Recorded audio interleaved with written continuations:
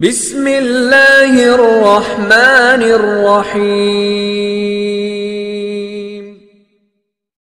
متقی بننے کا طریقہ۔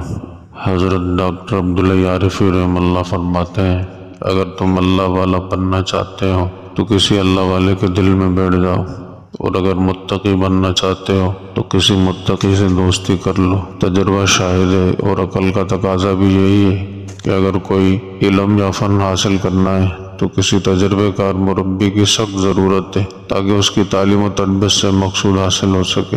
ایسا علم و فن ہمیشہ معتبر اور مستند اور بلا ضرر ہوتا ہے۔ اس لیے دنیا و آخرت کا صحیح علم حاصل کرنے کے لیے کسی اللہ والے سے ضرور تعلق رکھنا چاہیے۔ اللہ والے کی شناخت یہ ہے کہ وہ بزرگ، بظاہر متبع شریعت و سنت ہو اور صاحب علم و ظاہر و باطن ہو، شفیق و خیر خواہ ہو۔ بزرگوں سے تعلق رکھنے کے یہ معنی ہے۔ کہ ان کی صحبت میں کبھی کبھی حاضر ہوتا رہے۔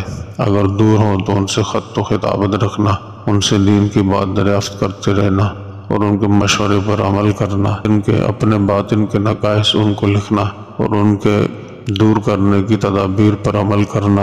ہر حال میں ان سے دعا کراتے رہنا۔ اپنی روزمرہ کی زندگی میں جو شرعی خلاف ورزی ہو، اس کے متعلق دریافت کرنا اور جو کچھ وہ تجویز کریں، اس پر اہتماماً عمل کرنا۔ اللہ تعالیٰ ہم سب کو فہم سلیم عطا فرما دے اور اپنی اس زندگی کو خوشگوار، پرسکون اور پرافیت بنانے کی توفیق عطا فرمائے۔ آمین۔